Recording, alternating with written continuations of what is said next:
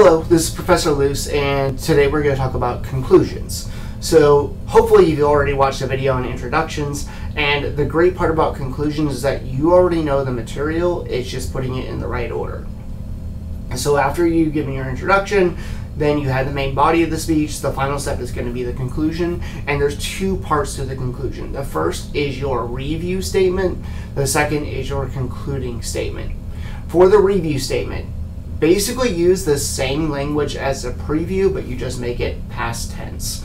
Talked in introductions about why repetition is key. So if you had four main steps to uh, building a table, you would then say, so today we have talked about the four main steps of building a table. First is gathering your materials, second is going to be building the legs, third is building the body of the table, and fourth would be finishing. So you just change future tense, which happens in the preview, to past tense, which happens in the review. You don't have to use the exact same words, but it should be like 90% or more the same exact language. Keep it simple, and that keeps repetition and, in your speech, and therefore your audience is more likely to remember it. The second component of the conclusion is a concluding statement. This is not saying, and that's all I got, and that's the end thanks for listening to my speech.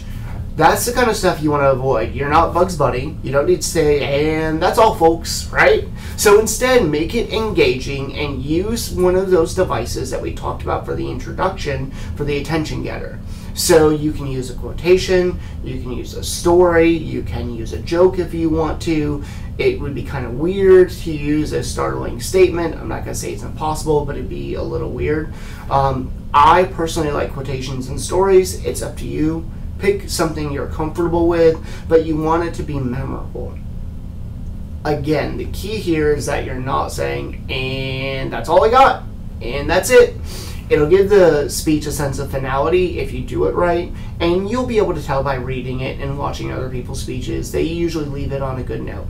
I tend to like quotations for me as a concluding statement, but stories, especially if you're using the part of stories where the beginning, middle, and an end of a story are spread throughout the speech. So the beginning of the story happens in the introduction, the middle of the story is used for your transitions, the end of your story is used for your concluding statement, then it can work really well well. All right, that's it for conclusions.